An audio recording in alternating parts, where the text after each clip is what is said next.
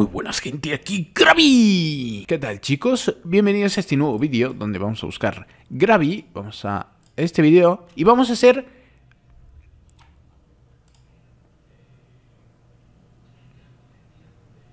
Bueno, vamos a hacer este vídeo de aquí, eh, que va a ser este de aquí. Eh, sí, este de aquí.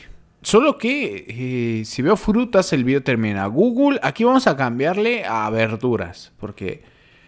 Porque vegetales, no, no, no, no, no, no, vegetales, no, no, porque si no me equivoco, un vegetal puede ser cualquier cosa, ¿no? Como, a ver, vegetal, vegetal, un ser orgánico que crece y vive y se reproduce, pero que no se traslada de un lugar por impulso voluntario.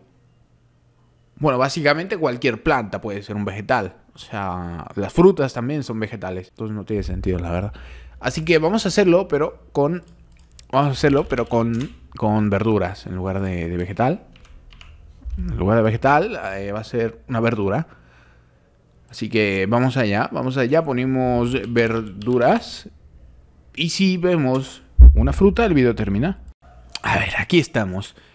Aquí estamos y, a ver, eh, no. Uy, un aguacate, uy, un aguacate, uy, una palta, no sé cómo le digan en su país. Eh, uy, uy, uy, uy. Eso es una fruta, ¿no? Eso es una fruta, ¿no? A ver, preguntémosle a OK Google.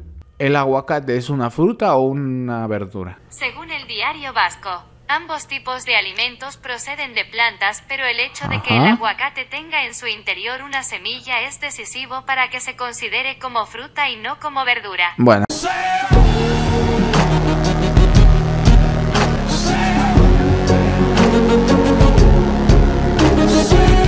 Si quieren comprar un juego, cómprenlo en G2A, link en la descripción. Y ya no está Carlos. Lo siento, ha muerto.